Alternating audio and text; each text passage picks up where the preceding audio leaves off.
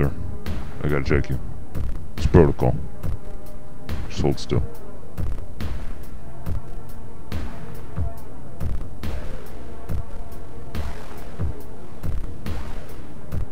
Alright, you're good.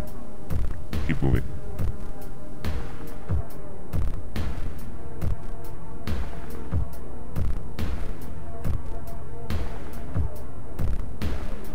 I've just finished talking with the Americans. They're ready with the weapons shipment. 300 assault rifles, 100 sniper rifles, 200 machine guns, all packaged and ready to go.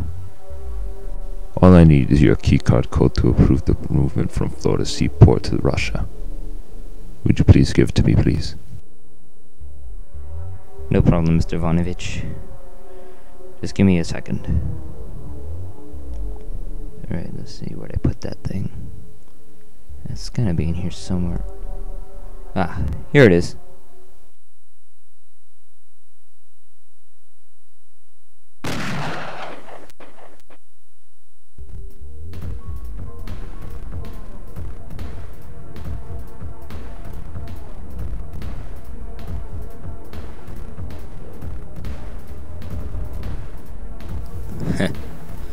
Some security.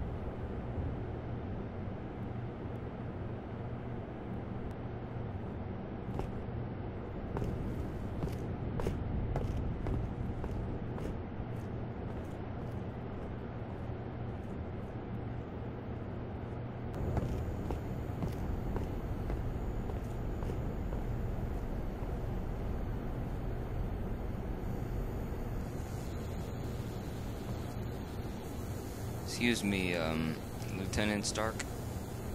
Uh, yes, Shane, what is it? I think we've gotten a lead on case 434. Case 434. That's the Gridiron Assassin case. What's the lead? Well, do you know James Neville? James Neville. Where have I heard that? James Harold Neville? That's the Secretary of Defense. Yep. We found out that he was conspiring with terrorists and was selling U.S. weaponry to Dmitry Ivanovich, a notorious Russian weapons cartel runner.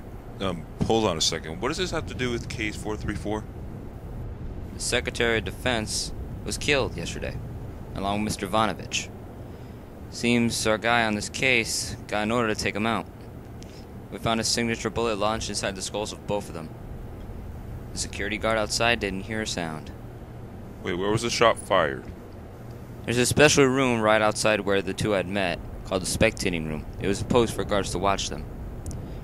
And uh, apparently he was able to get in there He killed both the guards and apparently he brought a sniper rifle. And he sniped both of them through that room. He bolted before anyone else could find him. Well, I'm sorry, Shane, but I don't really see how this is a lead on anything. All the bullets are untraceable. Nobody saw him. How is this supposed to help us with this case? Security cameras.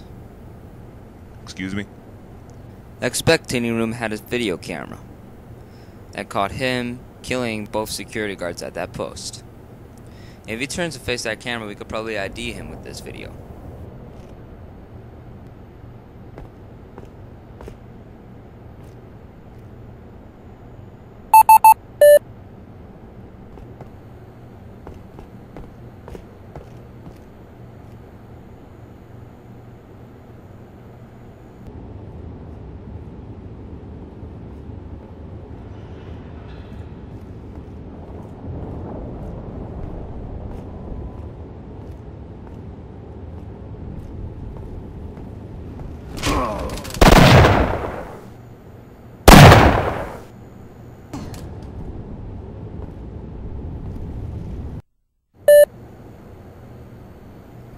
Bang fucking O.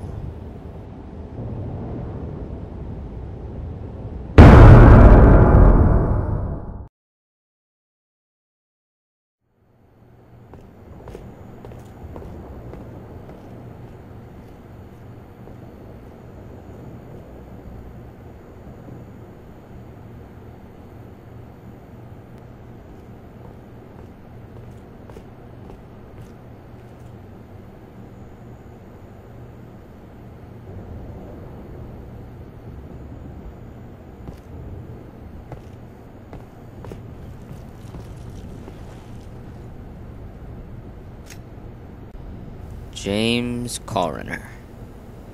Age 29, male. Hair brown, eyes brown, Caucasian. Sentence three years for the murder of Janine Brown. And let's see, it was a client. Oh, oh, it's obviously her father, Harold Brown. What a shock. Oh well, money is money.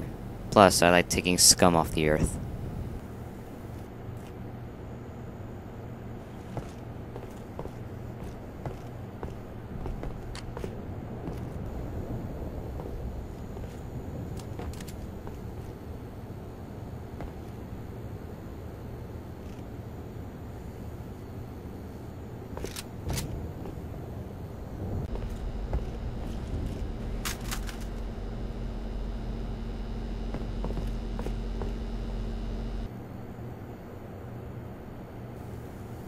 Let's get this over with.